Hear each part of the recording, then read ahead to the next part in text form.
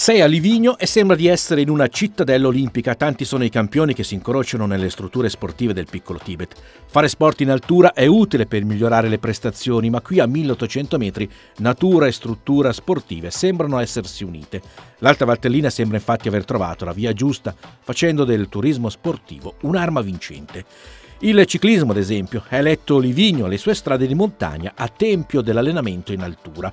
Fra gli atleti che hanno fatto piacevole fatica con le ruote lisce, troviamo l'icona del ciclismo moderno Mark Cavendish, oltre che la coppia nazionale Elia Viviani ed Elena Cecchini. Un Viviani, oro su pista ai giochi 2016, che guarda con interesse anche al prossimo Tour de France.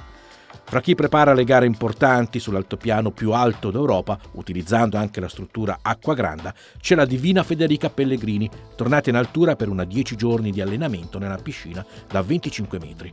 Sempre in Acqua Grande non è passata inosservata la presenza di Valentina Diouf, stella della pallavolo italiana, che ha scelto la località valtellinese per qualche giorno di allenamento.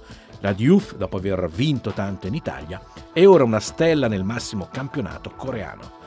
Ma non è tutto. Dal 1 luglio a Livigno è scattata anche un'altra iniziativa sportiva, Livigno Active Challenger, una serie di sfide individuali su tracciati di corsa, mountain bike, ciclismo, triathlon, enduro e downhill che ogni mese assegnerà premi e riconoscimenti ai più veloci ad esprimere le proprie prestazioni singolarmente e a, caric- e a caricare i risultati nell'apposita pagina dedicata all'interno del sito www.livigno.eu.